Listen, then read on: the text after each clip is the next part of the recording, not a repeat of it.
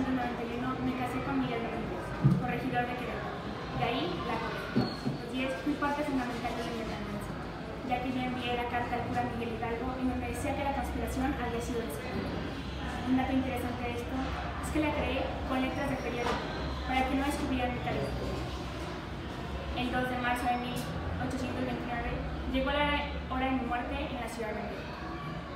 Hasta la actualidad sigo siendo inspiración para algunas mujeres mexicanas de salir adelante.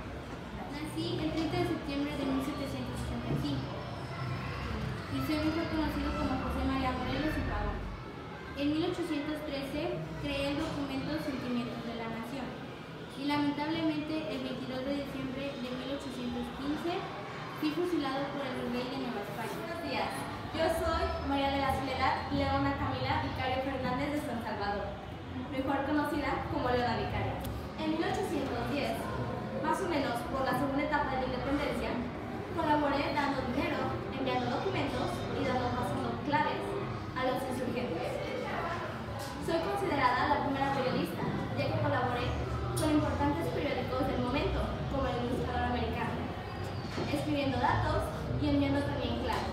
Al cuarto día de haber muerto, fui considerada dulcísima y benemérita madre de la patria, además de convertirme en la única mujer con un federal de Estado.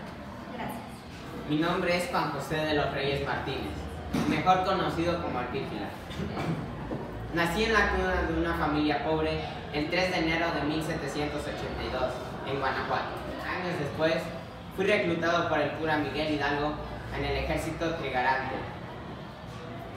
Todavía recuerdo que en aquella batalla contra los españoles íbamos perdiendo, así que con valentía y honor agarré una piedra que estaba a mi costado para que me cubriera las balas en camino hacia la puerta de la alcóndiga de Granaditas.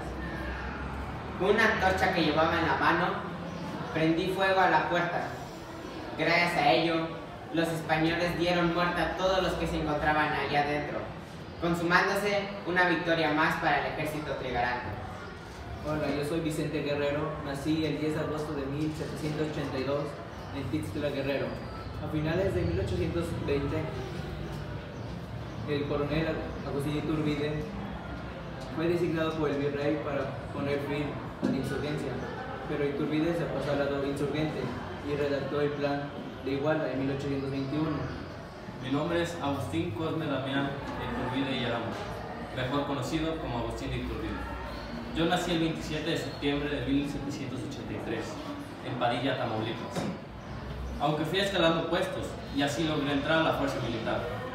Empecé con los realistas, pero sin, em- sin embargo tenía un ideal en común con los insurgentes, la independencia de México.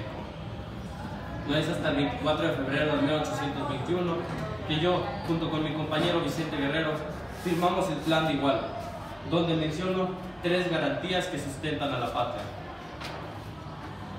La unión entre americanos y españoles, la independencia de México y el respeto a la religión católica.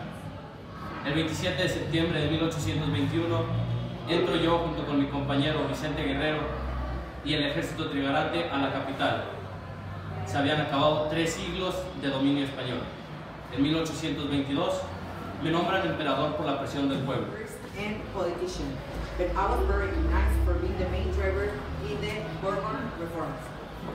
I always managed to do whatever I want because I really love the studies. For example, I always wanted to be a politician and that was something that I achieved.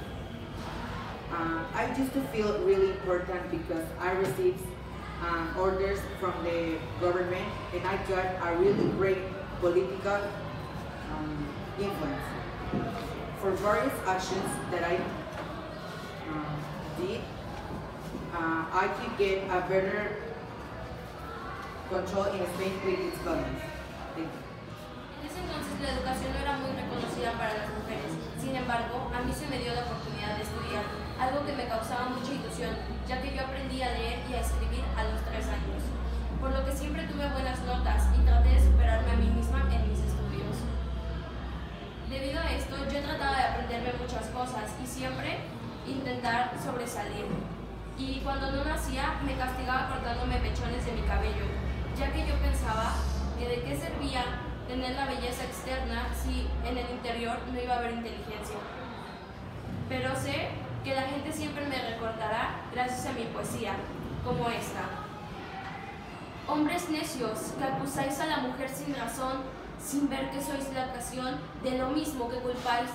Destaqué en la primera etapa de la guerra de independencia, dando el conocido grito de Dolores Fui capturado el 21 de marzo de 1821 y seis meses después inició la revuelta, donde fui fusilado el 30 de julio del mismo año.